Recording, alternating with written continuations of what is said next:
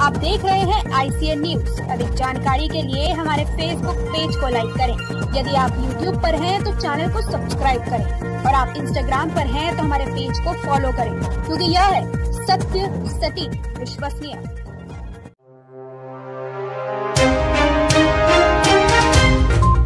नमस्कार ICN news में आपका हार्दिक स्वागत है और मैं हूँ आपके साथ मीनल व्यास।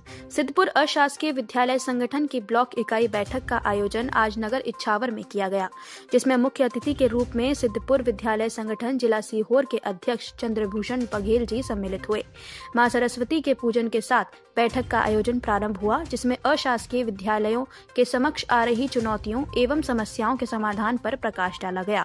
साथ ही साथ कार्यकारिणी के विस्तार एवं विभिन्न विषयों पर बिंदुवार चर्चा की गई। बैठक में संगठन के ब्लॉक अध्यक्ष सतीश शर्मा, जिला उपाध्यक्ष विजेंद्र सिंह, जिला सचिव राजेश भदौरिया, संरक्षक रविंद्र जी खाकरे, ब्रजवल्लभ व्यास, लखन नागर, धर्मपुरी गोस्वामी, रामेश्वर परमार राजेंद्र सिंह, विजेंद्र सिंह, नारायण सिंह, कृपाल सिंह, विजेंद्र सिंह हिम्मतपुरा, नियाज मोहम्मद, धर्मेंद्र राठौर, विष्णु सेन, मुकेश शर्मा, धर्म सिंह वर्मा सहित क्षेत्र के विभिन्न विद्यालयों के संचालक उपस्थित रहे।